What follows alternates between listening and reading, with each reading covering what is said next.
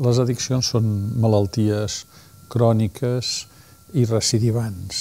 Eh, de fet, es caracteritzen per una alteració del que en diem els circuits cerebrals de recompensa.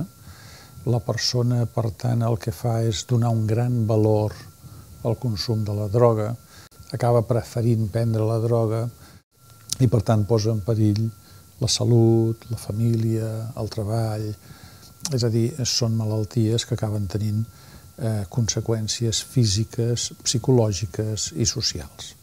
A nivell de l'estat espanyol, realment, sens dubte, les veritablement importants són el tabac, l'alcohol, els tranquil·litzants, les benzodiazepines i els derivats del cànnabis. L'entorn del 30% de la població espanyola eh, té una addicció al tabac amb l'alcohol tenim un 15% de bevedors de risc i un 5% de la població que tenen una addicció a l'alcohol.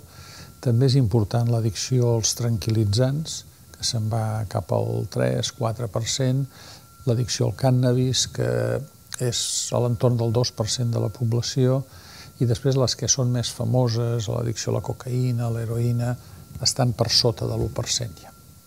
Els símptomes més clàssics eh, són la tolerància i l'abstinència. La tolerància és el fet de que jo, com que consumeixo la droga sovint, eh, el meu organisme aguanta quantitats importants de droga. Molta gent que diuen jo aguanto molt la beguda, aquests són els que tenen més risc de realment estar tenint un problema. No? I l'altre és els símptomes d'abstinència, que és el clàssic mono, que quan jo no puc prendre la droga, eh, el meu organisme reclama la dosis a la que està acostumat. Les addiccions són malalties cròniques, per tant acompanyen a la persona al llarg de molts anys de la seva vida i bàsicament tenen dos tipus d'evolucions. La més coneguda és l'evolució progressiva, eh, és la pitjor, en la que el, el malalt va empitjorant progressivament fins a arribar a situacions de, de, de perill vital o de morir-se com a conseqüència de l'addicció. Després hi ha altres pacients que tenen uns cursos que són més intermitents, que poden intercalar períodes de consum amb períodes de reducció del consum o d'abstinència.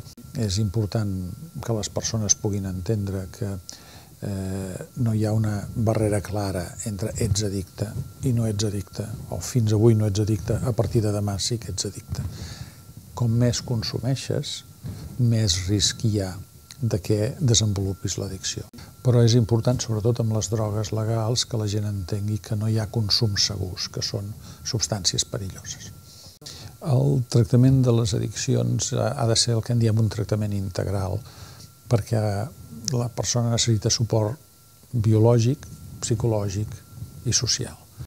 I és absolutament essencial que el pacient entengui que no es tracta de deixar les drogues i fer exactament el mateix que feia, sinó que es tracta de deixar les drogues i agafar un estil de vida saludable, un estil de vida que li sigui satisfactori, però que alhora eh, incorpori una cura de si mateix i del seu entorn.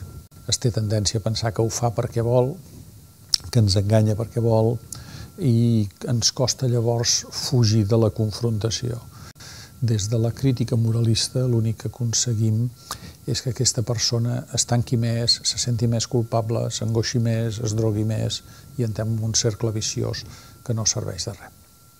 La família, quan és més útil, és quan pot mantenir els lligams amb el pacient, quan pot parlar obertament, sense actituds crítiques del tema, i el millor consell que se li pot donar és que s'esforci per evitar la confrontació i per vestir ponts perquè ajudin a l'addicte a poder entrar en contacte amb especialistes per discutir constructivament el que està passant.